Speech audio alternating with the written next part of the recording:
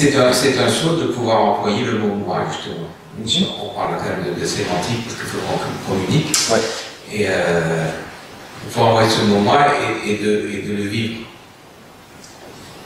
Disons que, je, que ce soit un moi personnel. Exactement. C'est ça, le, ça le, le, la compression, c'est que moi, euh, mon Steven Jobin en parlait souvent entre le petit moi et moi avec une majuscule. Donc il y avait vraiment euh, cette, euh, cette, différenciation qui était faite.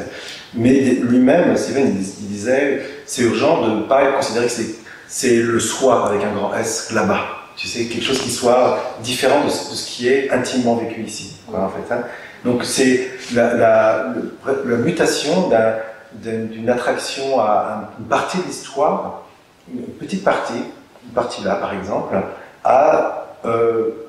ce même sentiment d'existence, hein, de même quasiment euh, euh, très peu différent d'une existence personnelle, mais plus du tout euh, encombré d'une division moi-non-moi. Et donc ce qui reste, alors d'appeler ça moi, c'est un peu difficile, mais d'un côté c'est vrai, parce que c'est notre expérience, en fait, tu vois.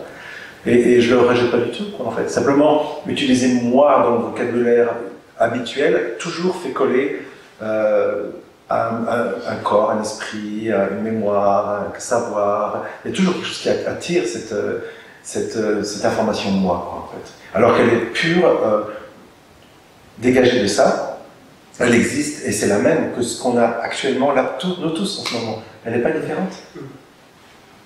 Si je pense moi et que vous pensez moi, ou je suis, vers quoi ça pointe, euh, tous on aura le même résultat. Certains d'entre nous vont dériver et aller s'attacher à une petite partie de l'histoire, un corps, un esprit, soi-disant, etc. Et d'autres, peut-être, vont comprendre que ça pointe vers l'existence elle-même.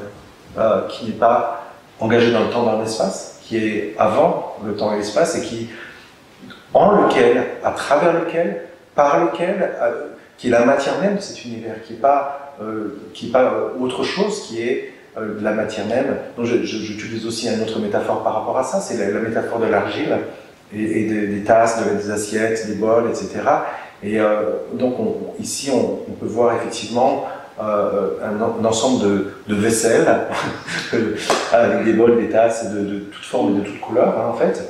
Euh, et à un moment donné, euh, quand l'argile, qui serait donc dans cette métaphore notre essence, notre existence, notre camp de base, euh, euh, arrête de se prendre pour un bol particulier, euh, elle comprend que, non seulement elle comprend, mais elle réalise que cette division est complètement ridicule, que tout est fait d'argile, c'est pas que l'argile rentre dans les méandres de ce monde. Ce monde est fait d'argile, donc est fait de.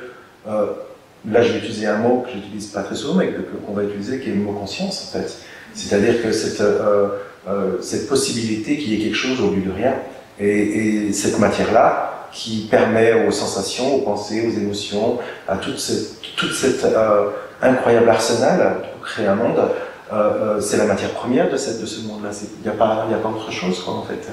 Et si c'est exploré jusqu'au bout, toutes ces notions de, je dirais, d'identification avec un bol, avec une tasse, etc., disparaissent et euh, l'argile se reconnaît comme, en, comme étant qu'argile. C'est pas le bol ni la tasse qui va savoir que c'est de l'argile. Oh, je suis fait d'argile, je suis fait de conscience, parce que ce sont juste des objets.